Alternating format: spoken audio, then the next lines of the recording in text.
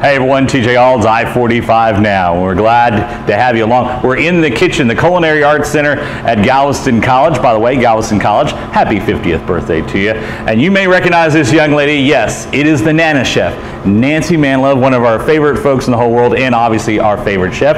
Nancy, thanks for being with us today. Thank you for having me. Now, the reason Nancy is here is yeah, we know Nancy from Cutthroat Kitchen. We know her from all the stories we've done around here. You know, the retired NASA engineer who became a chef and is world famous now uh, all over. But now, some big news.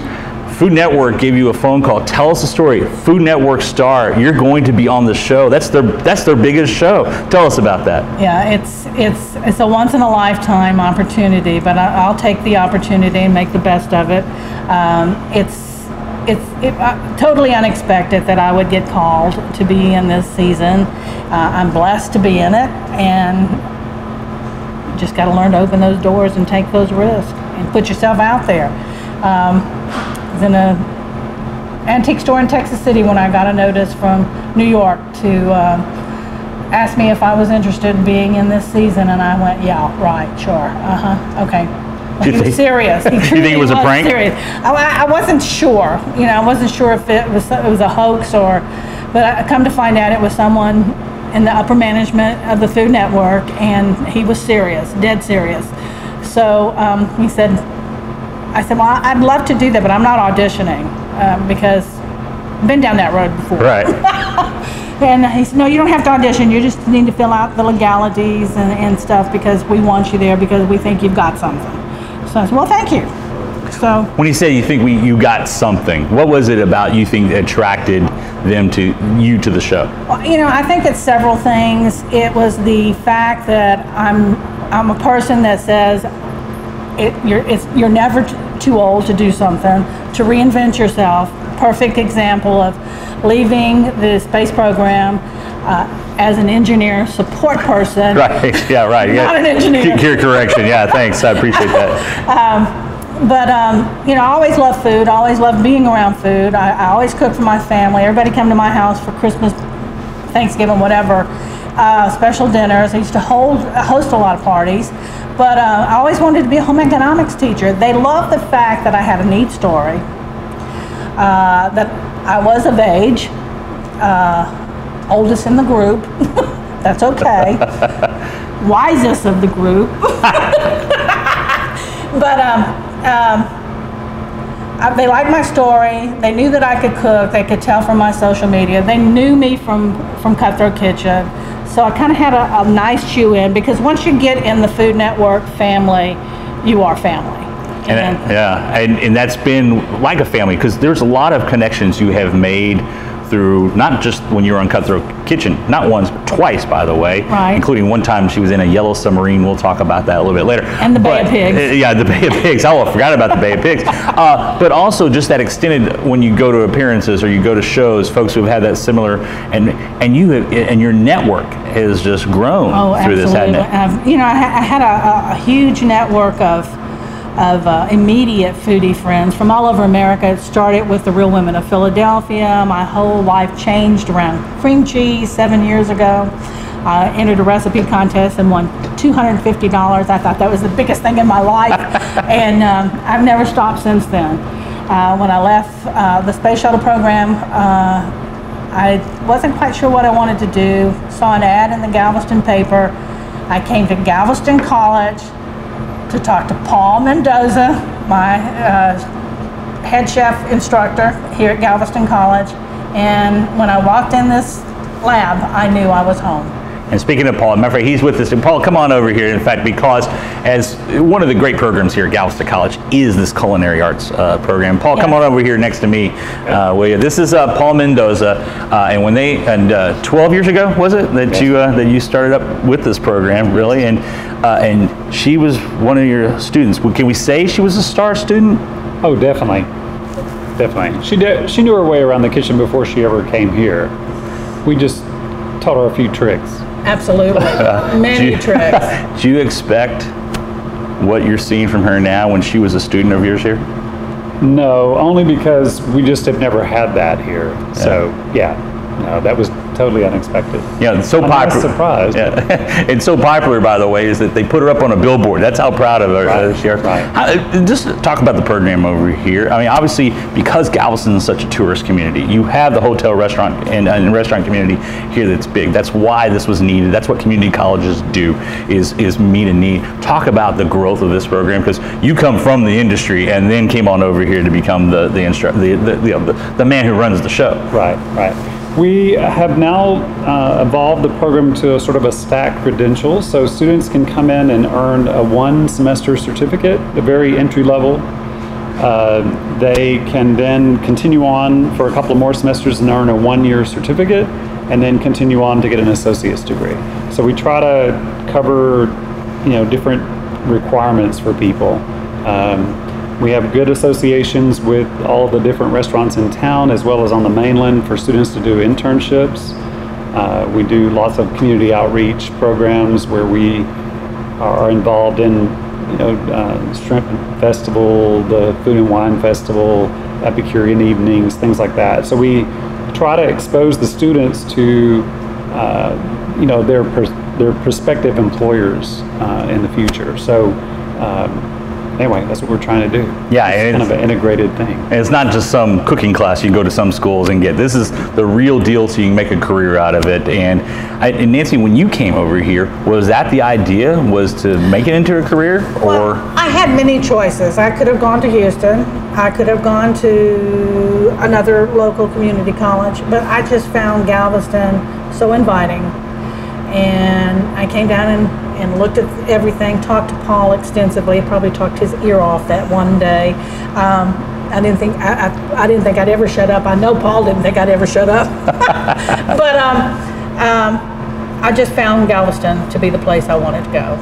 and you and you haven't looked back since? have you? I- I- you know, I did not come in here with aspirations of being on the Food Network, ever, ever, ever, ever. As a matter of fact, being the oldest student in the classroom, we had uh, several young wannabes that said, "Oh, I'm going to get my own show on the Food Network." And I said, "Honey, it don't work like that. It don't work like that. You're going to have to eat a lot more beans, and you're going to have to cook a lot more beans." That's something else. Well, and how was he as an instructor, by the way? absolutely awesome. He was he was always willing to listen, always willing to inspire, and he did inspire uh, all of us. Um, down to earth, approachable, uh, a great mentor, you know, and uh, I, I love him to death. We stay in touch all the time. You know, if I can help him in any way, I do. I serve on the advisory council here Great. for uh, the culinary arts department, and I believe there's a big seminar symposium coming, right? big conference on attend- Monday. yeah. Uh, uh, okay, Yeah. on right, I'm right after the yeah. show debuts, you're gonna have a conference. That's great. Exactly. That's That is, that's right. It does debut on the Food Network Sunday, June the 4th, episode one. Okay. And we can't reveal any of the secrets from that. Yeah, Nancy's she can't tell us anything from that except no. that she's on the show. That's it. Correct. Paul, thanks for coming on. We appreciate it, partner. And uh, congrats to you and your work on you. Yeah, that's great. So, well, eh, having you on here and obviously being here, this is not props, folks. We're actually going to enjoy ourselves. We are. I, I'm sorry you can't enjoy this because this is all smelling wonderfully, and we haven't even gotten going yet. So you've uh, we're going to bring Oscar. Speaking of the culinary arts program here, we have Oscar here, who's going to be your sous chef. He's in his first year uh, here. Uh, Oscar is also, by the way, is a, a Galveston native and Yes. worked around. So we're glad to have you here, Oscar. Thanks for Thanks, joining us. thanks, thanks, uh, thanks for so, so Nancy, tell us what we're going to be doing here today. Well, I'm going to make one of my signature seafood dishes. We've got some uh, uh, local shrimp and some scallops and crab that's going to go into a, what I call a, mu- uh, a flan mousseline. Uh, it, we're going to cook it in a water bath uh, in the oven, and then I'm going to top it with an exceptional this sauce that I've created over the years and crown it with some wonderful lump crab meat. It's gonna make you drool when you see it. I'm, I'm drooling just you explaining it here and reading over the recipe. We- We'll have it up, a link to get the recipe from Nancy here in a little bit. All right, well, let's get, get going here. Show us what we got to do to prep up things first. Well, Oscar's got a few assignments. I'm gonna have him chop me up some, uh, mince me up some shallots Working on it. and two cloves of garlic, okay? Minced, finely minced. I'm going to continue concassing. This is a technique that I learned. You know, even being a, a great home cook, you don't know it all. If you think you do, then you need to think again because there's a big difference in technique at home. I had to train myself how to cut with a knife. And because uh, I did not know the correct way to, to use a knife, I had no knife skills. It was just what I had been taught as a teenage bride from my mother and what you pick up over the years, you know? So what I'm doing is a concasse of the Roma tomato, making an X in the, in the, in the pointed end. We're gonna drop it in hot water for about 10 seconds, let it loosen up uh, the, uh, the skins, and then we're going to peel the skins off, the seed, and dice the tomatoes. So that's our next step. All right, as you're working on that, I'll ask you a couple questions because as we talked about just in kind of your intro uh, here earlier, uh, it, that your career, 12 years, you worked for the United Space Alliance, International Space Station, as well as the shuttle program. And you head on over as, we, as I'm chatting with you here. sure. Um, and tell us about how you got into that field to begin with, because that, that it's not like that's an everyday. Hey, I'm just going to get up today and go to work on the space shuttle. No, you know, but I, you know, I had spent, uh, uh, I had actually spent 25 years prior to that in corporate America. Uh, that was just my last corporate America job. Uh, I was very fortunate to get on with Boeing when they needed someone, and I, you know, I started out as administrative assistant. You get your foot in the door and you go from there. Right. And uh, uh, did travel and did engineering support, and, and then I, got, I then I got good. Then I got real good. then I transferred over to United Space Alliance on the uh, International Space, Space Station program. And then when Columbia went down, um, they formed a team to go up to do the debris recovery. Well, I was really good at database administration. And they sent me up to Lufkin, and I sat in a vault with 15 other people, just working the purging of the database of all the debris fill. Very humbling. I still get, my, my skin is crawling right now. I still get chill bumps every time I talk about it. Uh, probably the most humbling thing I've ever done in my life. Uh, to see what was in that database. But anyway, uh, my concasse is just about Almost there, right? Thank you, Paul. It's Paul Hainsey off from off camera here. Yeah, always the always the diligent uh, uh, uh, instructor, I'm gonna he? grab this ice bucket. And, um, you know, we weren't flying. The shuttle stopped flying Right. when Columbia went down. And it took us almost two years to get back into, into launch again. And, um, then they needed more people on space shuttle program, so off to the space shuttle program I went and spent 12 years uh, between Boeing and United Space Alliance. But I also retired from Houston Lighting and Power. Before that, I taught customer service. I worked in economic development. I answered the Marvin Zindler reports, the PUC reports, and the customer satisfaction. Talk about, I mean, because working in that, I would think as you go into this industry, uh, in the in the food service industry, that's got to be a big a big part of that is customer service. It's not just Yes. preparing great food. You've got to know Right. how to treat the customer. So I would think that that skill set is going to come in handy over the years. Yeah, everywhere I went, it led me to my next career. You pick up skills and talents and skill sets that you can apply later in life. And, you know, but I was always involved around food, you know, when we had an office party, they'd go, Nancy, what, would you, what you gonna bring? What you gonna bring? So I wrote a cookbook at the light company. It was called What's Cooking? And it was employee um, recipes, you know, the type that you, you buy fundraisers and stuff. And it became a fundraiser for the Houston Food Bank. Well, when I went to United Space Alliance, I was the program director for the board of directors for the Leadership Association, and we wrote a cookbook. and had everything in there from the astronauts to the janitorial service, employee level. They, everybody got to contribute. We had over a thousand recipes. And um, we raised money for the Houston Food Bank.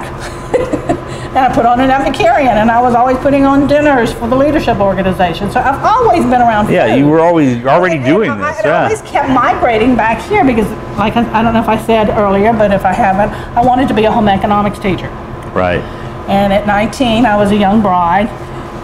And instead, I, you know, I found myself married, starting a family, and then home economics kind of went away. Right. It became health and life sciences or uh, some other program that they really didn't teach everything that I knew that they used to teach in home ec. You know, teaching you to sew and crochet and knit and cook. You know. Right. And so then I thought I'd, I'd be a co-op person at the light company, but that went by its wayside. So, you know, I sold insurance for a little bit. I was the director of membership services here at the Galveston Chamber of Commerce for three years, award-winning years, and the executive director for the Downtown Merchants Association. What else did I do? At the telephone company, I worked at the telephone company before I went to the light company. I started out as my first job, my first real job was an operator on long distance when it was cord board operator. May I help Oh my you? goodness. And then we went to new technology and all those jobs went away. So I went out in the field and became an installer repair technician. I actually climbed telephone poles for a living. This is an interesting part because that, that that's the part I wanted to get to with that. That I was going to ask you about it anyway, but you know, climbing up telephone pole to install stuff. You know, how do you how does that compare to what you do now as a, as a, as a chef? You know, I loved it then, but I was like 27 years old, so I was in great shape. I was very athletic, um, but I love this better. I would think so. Speaking of loving it better, why don't you go ahead and go with our next steps here so we don't hold it up too much. So, what we're going to do is let's just start peeling these. See how easy this skin comes off, folks? Look at that. Don't torment yourself in the kitchen. Cut them right down the quarter, cor- score them, or thinly slice into the skin, and you can peel them so delicately, but so easy. Yes, please. And then when we when we get them uh, peeled, um, well, let's just put it on the board.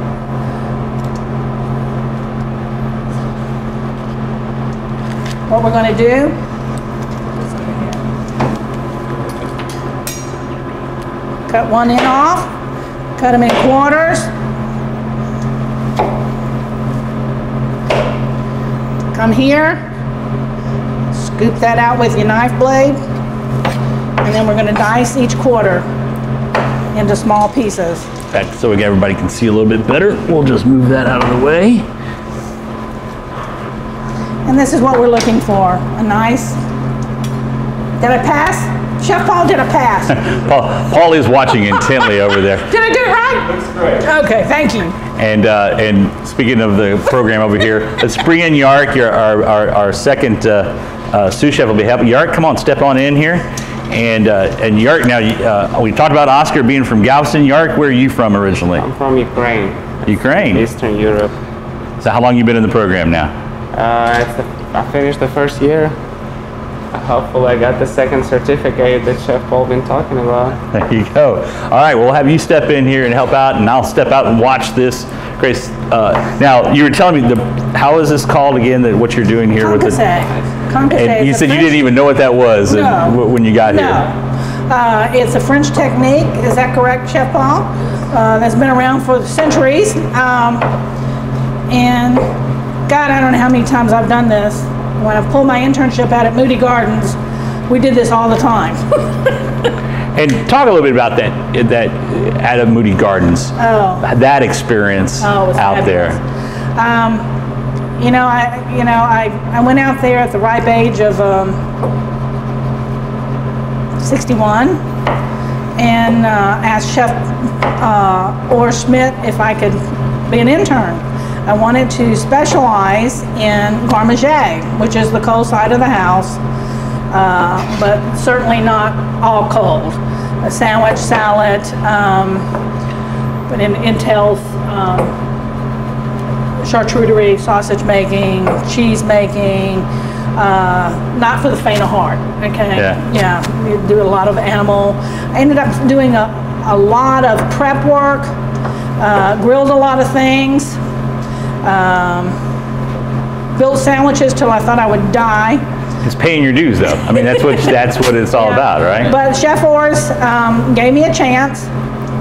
He said, I don't understand why you're here. We're all trying to get out of here. You're trying to get in. but I'm going to give you a chance. and um, he was very, very pleased with my performance. And he kept me on.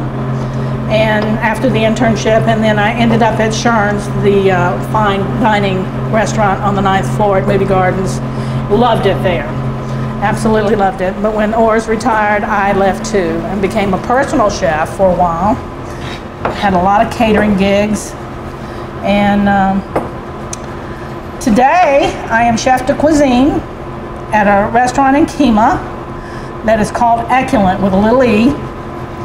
And it, it features a 20 course meal right now, uh, one seating, 16 seats in the whole restaurant. And we do modern farm to table with a touch of molecular. right. And Yeah. tell a little bit because uh, David Skinner, the Yeah, David uh, Skinner is my executive chef, a wonderful person and a wonderful cook, very creative, a creative genius in my book.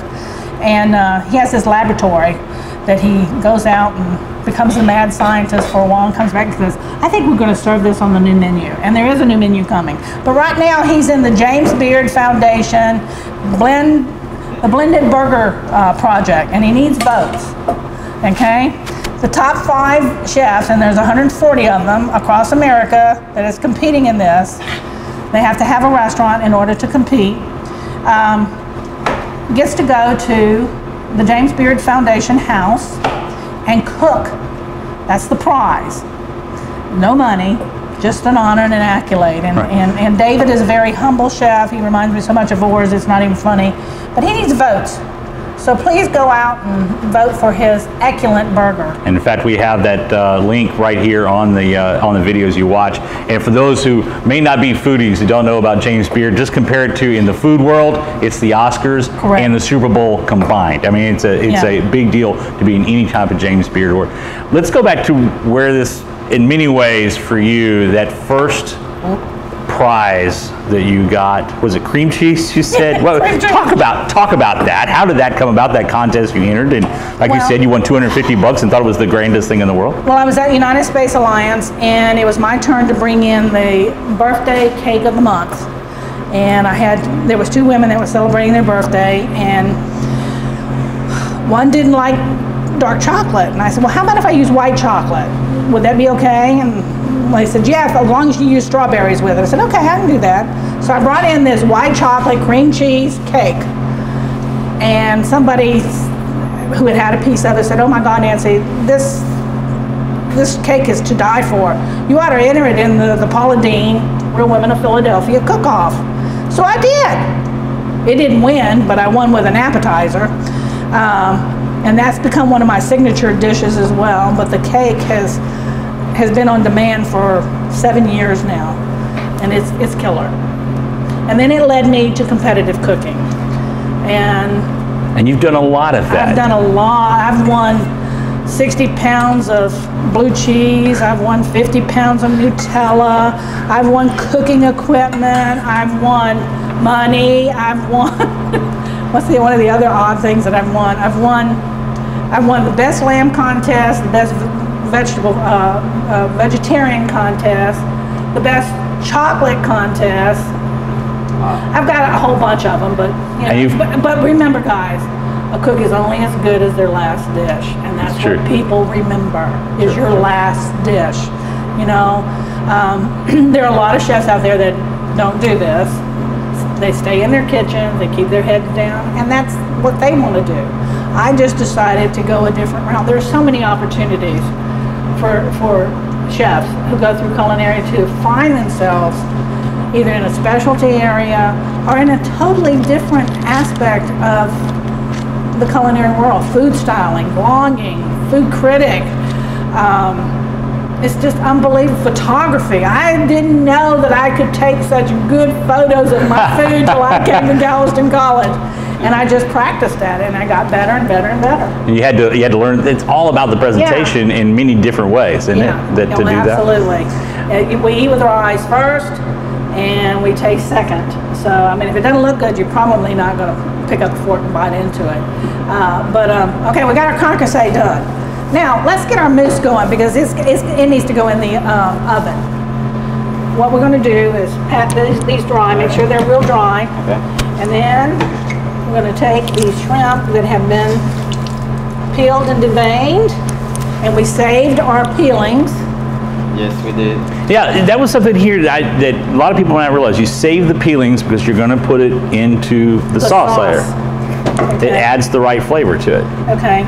Uh, let's let's clean up behind ourselves. You know, part of responsible cooking is keeping a clean kitchen. Sure, sure. So we want. Oh, well then I fail at that every single time.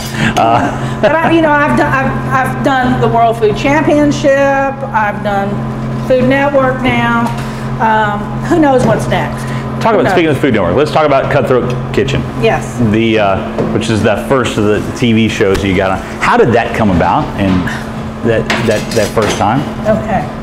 Well, And keep going. Don't don't hold up for me. I'll stand back. we're gonna keep going. We're gonna keep going. Um, let me get my blender, my processor out up, up here if I can. Okay.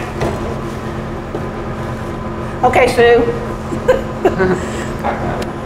Each one of these are different. We got it. Okay. We're gonna drop about half of these shrimp in here.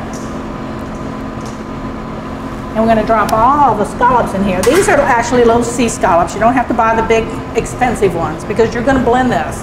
So why waste expensive ingredients when it's gonna end up as a um, puree? That's a good point too, because you make a point uh, in a lot of your recipes. Is this is the you can st- you can do this no matter who you are type of approach, correct? You can just go to this is about going to your local grocery store, HEB, wherever Kroger, wherever, and finding these items, right? You know, being a home cook for so many years um, has taught me a lot of, of home cook techniques and saving money because you got to put food on the table for a family. And I don't care if your family is two or four or six or eight. I came from, from a family of 11.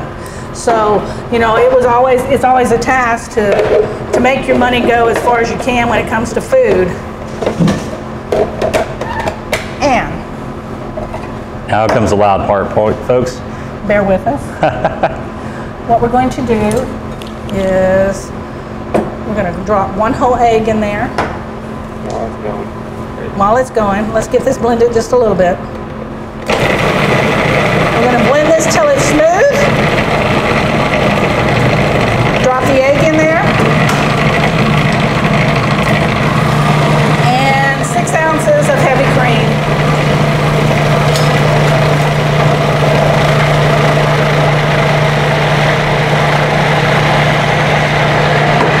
A pinch of sea salt. And a pinch of white pepper.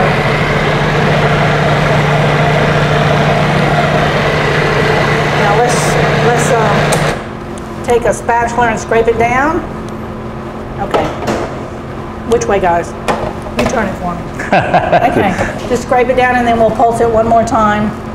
Because it's, it's, it's thick, so we've got to do, uh, we're going to add another egg to it. Would you get a small bowl and let's beat this little egg right here to death. Oscar and Yark are getting plenty of extra credit here today. Uh, so, when you when you're prepping out something like this and, and making this dish, uh, obviously we're delaying you uh, in, in this. How long would it take from start to finish if you're just doing this and focusing on it? This is a really quick recipe. Uh, cook time is 20 minutes. Prep time is probably another 15 if you if you focus on it and not talk. Right, right. That's it. Let's put this in here. Scrape that down in there with the spatula, and then we're going to add the egg in. We're going to fold that egg in. Like that. Uh huh. While I was doing that, let's go ahead and go back to what I'd asked you about earlier. uh, the Cutthroat Kitchen, that first phone call. Tell about how that came about. Well, actually, I had gone online and auditioned, cast, uh, filled out an application to audition for CNBC's restaurant startup. And I wanted to do a brick and mortar, which is a restaurant uh, front for a charcuterie. I wanted to do sausage and cheeses and salamis and bolognas and, in, in, in essence, a, a, a, a high-end deli shop. You know, Right. Galveston County doesn't have one Right. and I, I wanted to cite one here. So I went through all the auditions. They loved me. They, they thought I looked good on camera. They thought I had a good concept, et cetera, et cetera, et cetera. Took it off to the executive producers, and they came back and said, Nancy, we just did one six months ago. It's too close. Too Oh, close together. We, we'll put you on back burner for season two. Uh, if you're interested, we can try casting you again.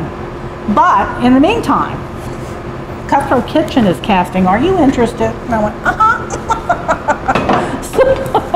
That's how you end up on the Food Network. That's it. Right time, right place. right. Being in the right. You know? so, what was maybe disappointing and a semi rejection at Right. the beginning turns out to be the door opening up, which is Another another great life lesson. in Right. it. So now we're mixing in one more egg here, right? One more egg. And then we're going to, I'm gonna let you whip it. Um, we're going to put it in some buttered ramekins. And would you make sure that that water is still hot that the concasse came out of? So when you got on the show, was obviously you'd not done anything like that before. What was that like? Uh, I've always said that, you know, some of the, the historic French chefs are my favorite chefs, but on TV, Alton Brown is without a doubt my favorite, favorite, favorite celebrity chef. He doesn't even call himself a chef, but he, he's magical. You know, he's so spontaneous, he's so funny, uh, he's brilliant, an absolute genius, and uh, A bit quirky. yeah, a little quirky, but that's Alton. You know, Yeah. you take people at face value, and that's his face. So, um, um, it was a hoot. Needless to say, it was a hoot. It was a, a grandma episode. It was two chefs against two home cooks the, in the cast of four, and I, I ended up getting five of the eight sabotages and survived to win. You know, so it, it, it was it, it was a lot. In fact, uh, you're looking at right now her Facebook posting from when she won it because she was quite a happy person uh, uh, from that uh, Yeah. from from that episode. But that opened up a whole lot more doors for you. It did. Um, and talk about just briefly what what what came up after that. Um, a year later, I get a phone call from the casting people at Cutthroat Kitchen and said, "We'd like to bring you back. Bring you back since you're one of the winners. We're going to do a time warp tournament. Would you make sure it's even? Yeah, uh, time warp tournament, and it's. I'm sorry. Oh, you're fine. I'm That's all sorry. right. Hey, it's not a good it's not a good cooking expedition exhibition unless you go ahead and get You to have taste a little bit off your shirt, of right? Yeah, yeah. Um, and it was it was going to be a salute to the 60s, 70s, 80s, and 90s, and we want to put you in the 60s. Well, that was my generation. You know, I love the 60s. I graduated high school '69. Um, and it was treacherous. I mean, it was probably worse than the grandma episode. Uh, um, I came in second, and I mean, that was tough. it I mean, you they put you inside uh, uh, put you inside a small yellow submarine, with two other chefs. right? With yeah, with two other people, and then you also the Bay of Pigs thing, Oh. which I still don't understand. It's uh, all these pigs uh, in a floating tub of some sort that uh, that you guys had to work around with. Because yeah, those who may not have seen the show, Cutthroat Kitchen, basically. You're, you're trying to prepare a meal, but they're throwing everything they can at you, and you're and the people you're competing against put up money so they can take try to take you out. That's the whole idea. The, the, the Yellow Submarine was pretty bad, but the Bay of Pigs was the worst thing I think I've ever in my life had to experience because I couldn't use electricity. Um, I Kind of dangerous, I, right? I forgot the eggs, and uh, I, ha- I was charged to make my dessert, which was a home style banana pudding. Well, this girl can make a southern banana pudding, but you don't do it without eggs. Right. well, it's easy to, for, to something like that when you're getting distracted. Yeah. It gets messed up. I remember you saying, "I forgot the eggs. I Yeah. forgot the eggs." And there was no recovery after yeah. that. Yeah, well, yeah, I came close. It came down to do you want a soupy banana pudding or you want a stiff banana pudding? Mine looked gorgeous. His looked like a mess, but but he won. So That's it. Que sera, sera, you know, it was still a, a wonderful experience. What's going on? What's Oscar doing here right now? Okay, he's pouring in some hot waters halfway up uh, the height of the ramekins, and we're going to put this in a 350 degree oven and cook it for about 20 minutes. And we've got a timer, I believe I saw. Yes. Okay, that's, we do. yeah. A little bit more, just a little bit more. And I think we need a little bit more of this in here. In fact, while that's in the oven, we'll be talking about uh, going on Food Network Star because this is going to be, you know, I know you can't talk much about uh, the details of it, but just the overall experience. We'll talk about that here in uh, just a bit. But this this is looking very good, folks. Okay. I wish you could be here with us to take a look at this. Okay, now very easily, we're going to move this to the oven that's preheated. Uh, thank you, Paul. and we're going to cook it for 20 minutes, and they should be nice and fluffy, look like little, I call them mousselines or flan if, if you want to equate it to something that you might recognize in everyday life.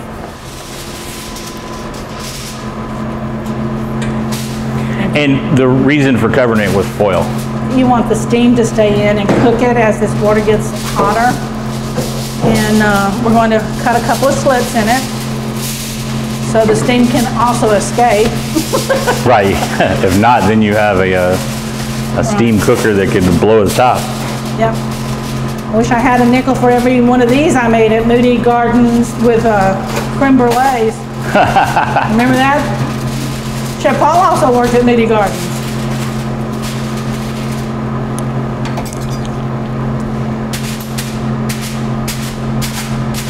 Okay, now, go open the, let's go open it. It's not hot.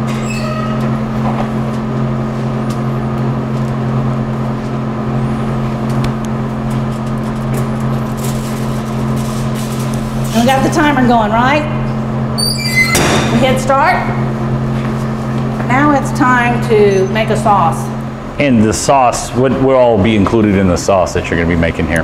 We're going to take the um, seashells, the uh, shrimp shells that came off of the uh, shrimp tails, Right there.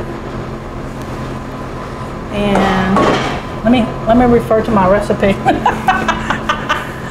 Every good chef still has the recipe handy, right? I mean, that's how it's supposed to work out. okay, done that, done that. The checklist. that. That's it's a good lesson to be learned there. While the flans bake, As she does her famous presentation. uh, we're going to prepare the sauce. In a heavy skillet, we're going to take the olive oil, which is one tablespoon. And what do we do with? And uh, this is a tablespoon. This is a tablespoon. You eyeball it on your measurements most of the time. That's the way I learned to cook.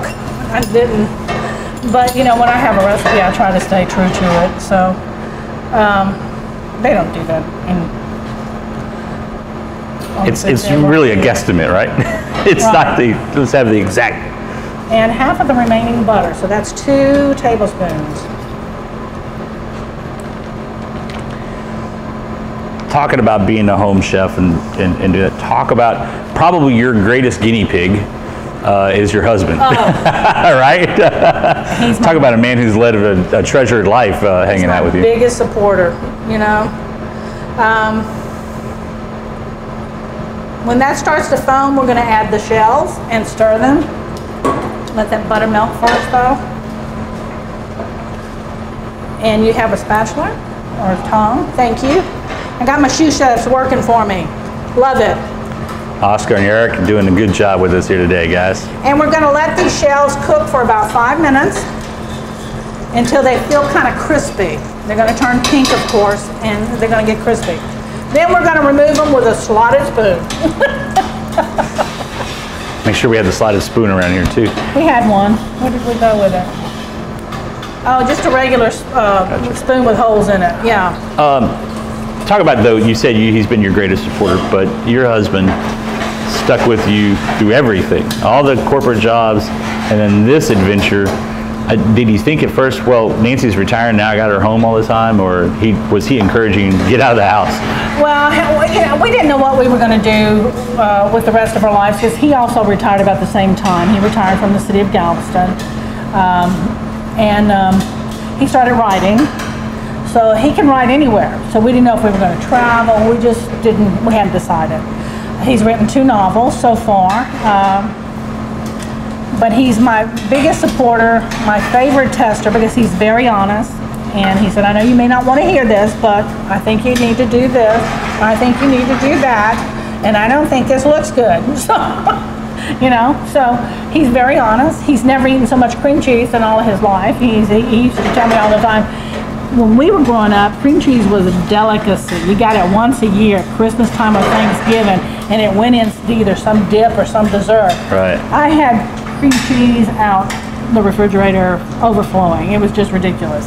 But um, he, I don't know that he expected me to retire because I'm, um, I tell my daughter all the time that I, have too much energy to retire, and I do.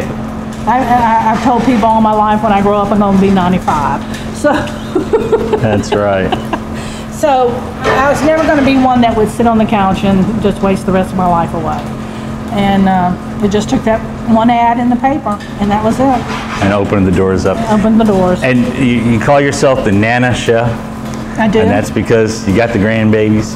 Talk I about have that. one. I have eight grandbabies. I have an extended family. Jim and I are uh, have a union of two kids from his first marriage and two kids from my first marriage, and then we share eight grandbabies together. They're all blessings. And um, turn that down just a little bit. Um, smelling a little hot. But anyway, um, let's go ahead and take the shells out if we could. Don't lose too much of the uh, butter. Okay. Um, Folks, if you can smell us like we are right now, well, you can just smell the richness Mm-hmm. going on. But but go ahead, talk about the grandkids. Uh, I have um, three grandsons and five granddaughters. I have one special need grandson that has Down syndrome, and uh, he's just a jewel. He's almost a genius. He, he's like one of those savants. Yeah. He can tell you every planet, how many moons, and how many what the stars are. I don't know them all, even though I work for the space program. you know, and he reads like I'll get out. And um, you know, we've had a, a, a bunch of cheerleaders and a bunch, a bunch of dancers in our family. We have an athlete in our family now that's coming up through the high school. Uh, they're in local schools, they're in private schools, and um, once they get their car, we never see them again. Right. you know, they get their wheels are gone. Right. You know, so we've got several that don't come to see Nana and Papa and Big Daddy as much as they should. So hello. yeah, the message out. We'll put your number at the bottom so they don't forget it there. All right, let's. Uh, and they are, as I said, you you you you talk about them all the time. It's kind of it is your brand, Nana Chef. Uh, and I take it then too is is if you're they they beg you to cook something for them when they come over They and, and visit. their, Do they? yeah, they do, TJ. They have their favorites. I try to use some time with them every chance I get to teach them how to, to cook something. You know, um, okay, we're gonna add we're gonna add um, the shallots and the fennel seed and the garlic. Nancy, don't you come on around over here as you guys are doing that? Okay. Not the garlic yet, though. Let let the shallots get a little. Yeah. We're gonna soften those for about three minutes, okay? Okay? So you said now that each of the grandkids have their own kind of favorite dish from you. Yeah, uh, unfortunately, I have uh, a stepdaughter and a daughter-in-law that don't cook. Can't boil water. And uh, that's their thing, okay? They have other things going on in their life, and to each his own, you know? And you may see one of them on Worst Cook in America. Oh, oh, hey, hey, a promo for another from the family, making a, making a family thing now. We'll know soon. Yeah, We'll know soon. But um, one comes from an Italian family that the mother just cooks unbelievably, and Virginia can't cook anything. Uh, she does Blue Apron and those other box dinners. Right, right, right. Yeah, that's okay. She's getting by, you know. But um, my point of view is that even though I'm a great cook, we all have a responsibility to our children and our grandchildren to teach them how to cook. They need to be able to feed themselves other than to drive through fast food or buy it out of the frozen food section. You know, we've raised this generation of convenient food kids and grandkids. And that's That's a big thing with you. Turn to the table, you know, and you know, and all of us come from different backgrounds, different roots, dif- different ethnic, uh, ethnicities, uh, ethnicities. You, you know that word? Yeah, we're gonna find ethnic different- makeup, yeah. Different races, whatever. You know, we all have heritage cooking in our in our roots, and the first person that teaches anybody how to do anything is either grandma or mom Right. you know? And Lord, the recipes that we're losing to posterity because they're not being inherited, they're not being shared, and they're not being utilized. a lot of them are always in grandma Yeah. or mom's mind Right, and then, and right. then continues on from Okay, why don't you go ahead and put the, the is that the uh, fennel seed? Yeah, please put that in there. Okay. Okay, and we got the garlic in there Has too? the garlic. Now we're gonna deglaze. And we're gonna use some, uh, just, just- just your favorite dry white wine. It needs to be dry. Should be a dry. I've made it with sweet and it just changes the sauce too much. Right. Okay? Ready? Okay.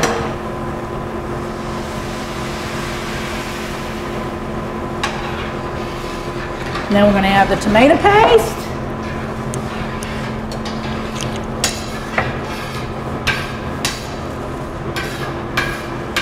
Ready? Tomato paste. And would you do me a favor? You know how to shop the chiffonade basil? Okay. Would you take some of that basil and get me about three tablespoons chiffonade?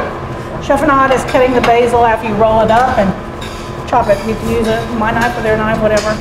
Okay.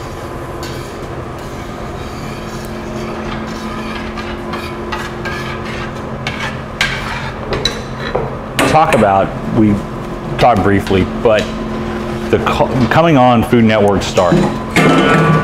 This being as big of a show it is of the competition shows that, that, that Yeah. they have.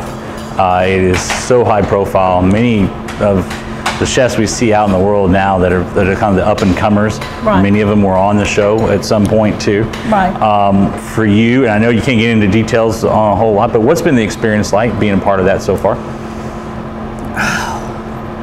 I can't buy this kind of publicity. You know that, TJ, whether I win or lose, and that's to be yet determined. It's the chance of a lifetime. I've met some wonderful foodies, uh, the entire cast. And uh, on the on the premiere, there'll be 13 of us instead of 12 because there's a comeback person.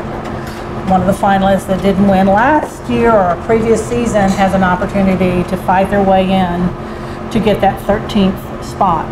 So you'll get to see who that is on Sunday night as well as introduce the entire cast, the other 12. And they're all excellent cooks. We and but ironically, all but 3 of them are from the south. Does that tell you It, it, well, and that's the, I was about to ask because that's the one thing we start seeing. Southern cooking is what's taking over the whole country, is it Right. not?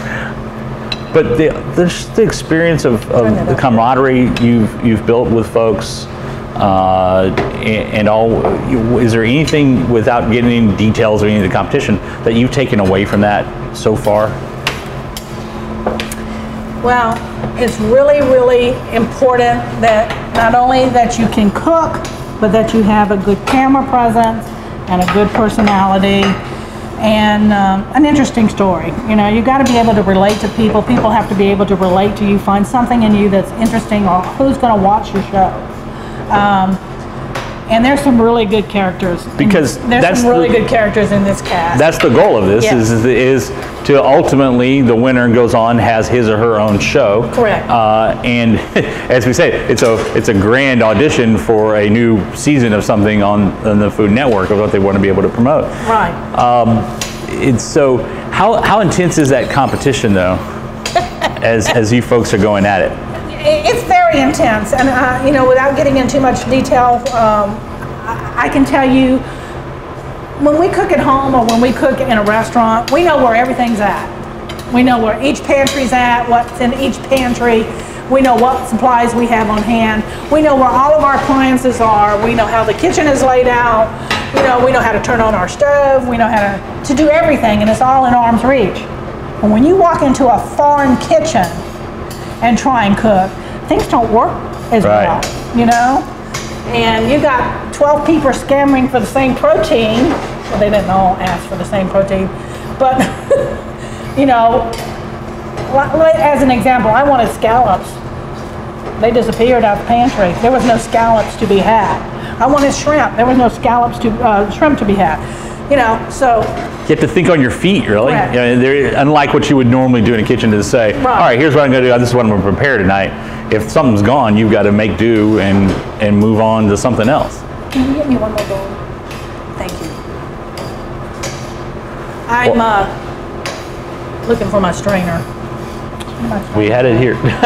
we Oh. oh, there it is with the shells in it. Sorry. the other thing, al- al- always know where your stuff is in the kitchen. Yep. Okay, what we're gonna do is pour this in here and strain it. You wanna come around here or you wanna do it there? Okay, very good.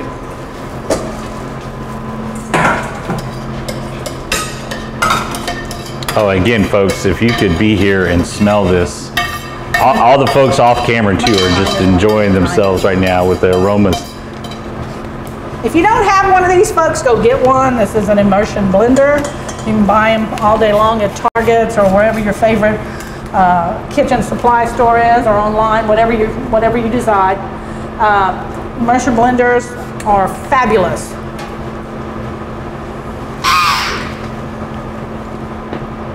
I'm gonna make this smooth because I don't want to lose this good ingredients. Maybe. She's a lot better. You're a lot better at me. I would have had it splashed all over the place. Well, you see, I'm standing back because I'm Right. I, I noticed you kind of backed up a little bit. have on an apron, and I should have on an apron. You know, my grandmother used to get up in the morning, put her clothes on, and the first thing she went over her clothes was her apron. Right. That was her day, right? Stop doing that. You know, we became a wash and wear generation. And uh, now I have a collection of aprons. but do you think I thought to bring one? No. Well, for our purposes, this works out good. Okay. Okay, now we're gonna put it back in the, in the skillet. It's nice and pureed. We're not gonna have to strain it. I don't wanna lose all that good stuff. I've made it both ways. I find this one to be better. So by doing it that way, you're able to keep basically all the ingredients in place and not press it through and lose anything, Right. right? Not just getting the essence. Now, we're gonna add, we're almost ready to pull it out the oven. We got about three minutes left on the oven. You pour this in when I tell you. And then we're gonna top it off with some sherry to make this very, very rich. Get my crab meat ready. Going back to the show uh, here, uh, did, when you now this will be your third television show to do. Do you have a more of appreciation for what you see on there when you see hosts of the show and what it takes to put something together? You know, there, it's a huge team. You know the old saying, it takes a village to raise a child? it takes a village to put on a cooking show. Um, you know, they have executive chefs at the Food Network who do nothing but buy ingredients and stock the pantry. It's just phenomenal what all goes on behind the scenes. Yeah. Production teams and professional photographers and wardrobe and makeup and it's just unbelievable what goes on, you know. And yes, when you see um, your favorite cooking chef on the Food Network or anywhere else, no, they, they, they, they have a lot on their plate to get through a production.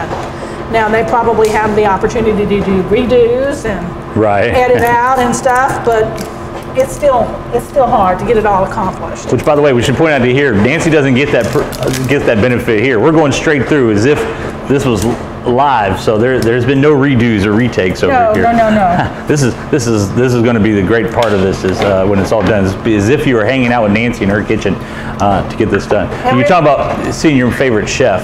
Uh, my my personal privilege, I got to ask, because I'm a big Bobby Flay fan. What what's he like in, in real life? He's very, very um, personable, very open and honest, okay? Would you pour that, uh, the remaining six ounces of heavy cream in there, turn the fire down low? Smooth that around. This is my bisque sauce. And then I'm gonna have to take the spatula away from you because I don't want my crab meat broken up. And we want it left in lumps as much as we can get it. And how many minutes, seconds do we have left on the uh, baking aspect of the recipe? 50 seconds. 50 Get a seconds. Tasting spoon for me? Yeah, would you get a tasting spoon? So Bobby Flay, very personable. Not Yes, very knowledgeable. Oh, hit my off button. Thank you. What happens when we have the cell phones going in the room? Yep.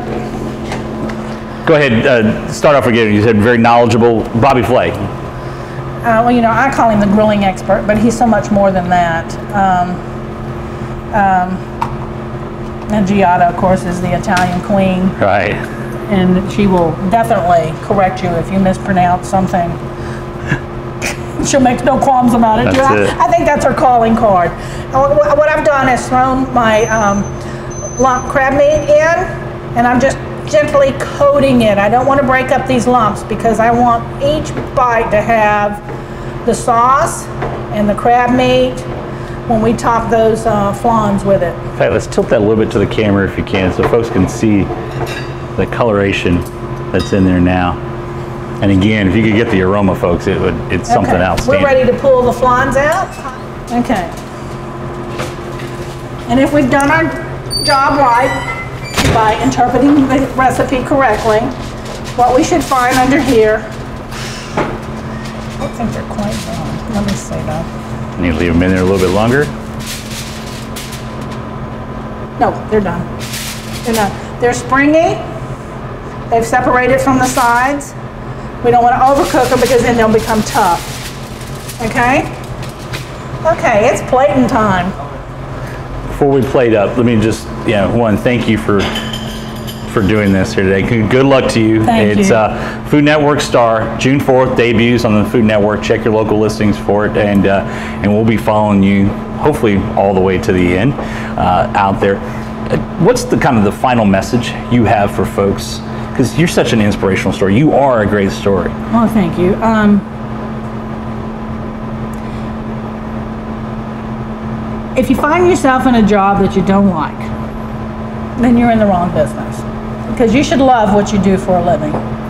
Um, figure out what it is that you that turns your heart into a passion and sets your soul on fire, and go for it. Don't sit in in misery. Life's too short to be miserable at what you do for a living. Um, I, seven years ago, if you'd have told me that this is what I'd be doing for a living, I'd have said, you're crazy.